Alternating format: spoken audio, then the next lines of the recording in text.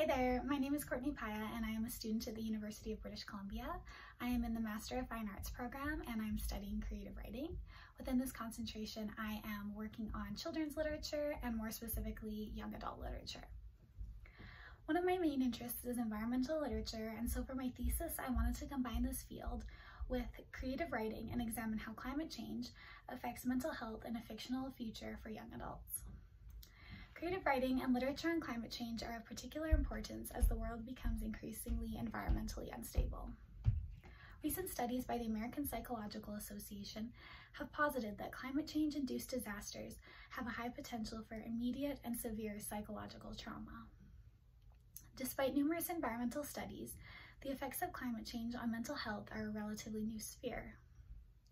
Indeed, as climate change can have an, a significant impact on mental health concerns such as post-traumatic stress disorder, depression, anxiety, and more, the increase of global warming presents a direct threat to the general population's mental well-being.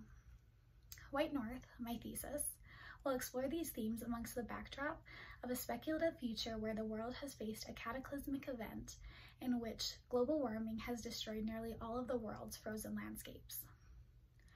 Our protagonist will have to navigate this altered world along with the responsibility of caring for her mentally ill father, a victim of a new climate-induced mental illness, and her younger brother, who is too young to understand the devastation around him. Although there are works of fiction detailing climate change and mental health, few exist that deal with this topic for young readers. It is imperative that younger generations become aware of environmental trauma and the cumulative and interactive effects of climate change as well as the threat and perception of climate change that adversely impacts individual and societal mental health and well-being. Now I will read um, from the first chapter of my thesis, so here is White North. The world is dying, but I'm still alive. Or at least I think I am.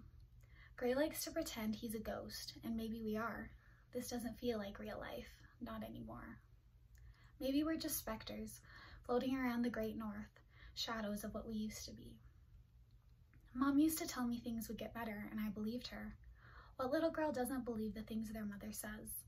She would tuck me into bed, the smell of her soap floating around me as she brushed her nose against mine. Don't worry, love, the snow will come back. She was wrong. It didn't come back, and now she's gone too.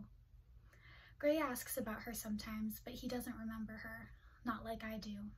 He doesn't remember her dark hair, freckles, or the way she would get a line between her eyebrows when she was concentrating. He doesn't remember the way she danced or the sound of her laugh. But I find myself forgetting that one too.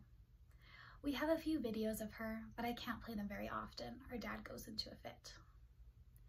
I wish I could share more of her with Gray, but he doesn't understand. In his world, mom is a ghost, and that's all she's ever been. Now dad is a ghost too, a living ghost. Pri, Gray yells from the other room, his voice slowly rising. Priya! I drop my book and follow his voice, the pitch making my heart race. I hear the steady thump against my chest until it stops beating altogether when I enter the room.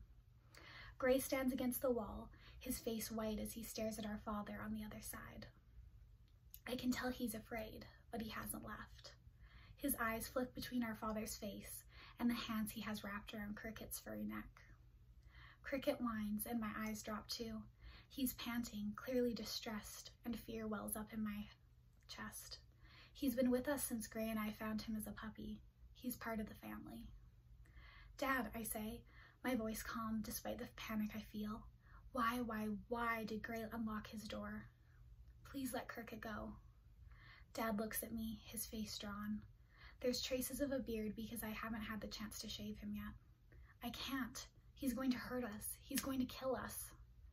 No, he's not, Gray yells, anger coloring his voice. Gray, I say quietly, go into the kitchen. I'll get Cricket. Gray looks at me, tears staining his cheeks. I'm not leaving. Tension fills my chest, and I feel like I can't breathe. Dad, Cricket is a dog. He's nice, remember? No, don't you see? I saw him yesterday. He's not a dog. He's trying to trick us. Dad's voice picks up and his body begins to thrum with excitement. I'm gonna fix it, Priya. I'm gonna make sure no one hurts us again. Suddenly, Cricket lets out a shriek and Gray screams. The veins in Dad's neck bulge as he squeezes Cricket's neck, and I feel myself lunging forward. I push the full weight up again of my body into Dad, throwing us both against the bed. My shoulder bangs against the sharp angle of Dad's elbow, and the pain is instant, but I hear the scuttle of nails as Cricket escapes and runs out of the room. Why did you do that? Dad screams as he slides onto the floor, his hands curling to his face. I was just trying to help. I was just trying to help us. I try to block his voice out as I run into the next room and grab one of the tranquilizers. The needle feels heavy in my hand as I fill it. We don't have much left. Dad is still on the floor when I run back, his agony clear as he pulls at his hair. I see the sweat soaking through his shirt and the dried blood on his fingers from where he's nearly chewed his nails off. Dad, it's okay, I soothe, but my voice breaks. This doesn't feel real. Dad, please. For a moment, I pray that he listens. I pray that he stops ripping out his hair and that he looks up at me. I pray that he hears my terror and acts like my dad again. I pray and I pray until I realize that prayers have never helped. I'm on my own. Thank you so much. I hope that you all have a wonderful rest of your conference.